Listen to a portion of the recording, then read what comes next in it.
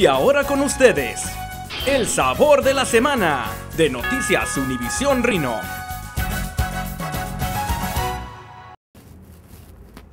¿Qué tal amigos? ¿Cómo están? Un servidor César Pérez con otra edición más de El Sabor de la Semana y en esta ocasión tenemos a uno de los restaurantes pioneros de aquí de la zona metropolitana de Rino, Nevada. Me refiero a Los Compadres. Si usted por cualquier motivo no lo ha visitado, aquí le vamos a decir qué platillos son los más importantes. ¡Vámonos! Vámonos de inmediato a conocer más a fondo este excelente lugar. Y bueno, este restaurante Los Compadres, fundado el 10 de mayo de 1995, tiene como primordial objetivo darle el mejor servicio a los clientes con una decoración netamente mexicana. Ambiente de primera, coloridos adornos hacen de Los Compadres único en su clase. Usted estará seguro que pasará un momento sumamente agradable.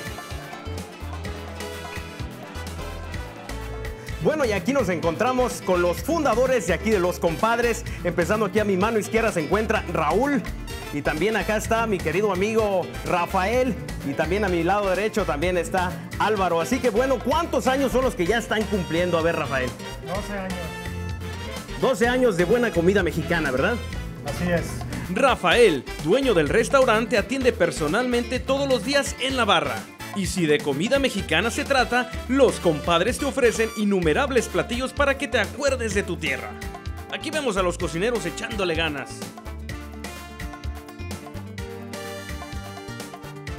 Bueno, y aquí nos encontramos en la cocina con Sergio, uno de los cocineros, que bueno, una de las características de aquí del restaurante Los Compadres son los desayunos que nos tiene aquí preparados Sergio. ¿Qué tenemos por acá? A ver, cuéntanos. Con su machaca con huevos, chorizo con huevos, muy ricos. Sumamente tradicionales, así que ya saben, vénganse desde tempranito que aquí Sergio les va a preparar ricos desayunos. Listos para llevarlos a su paladar.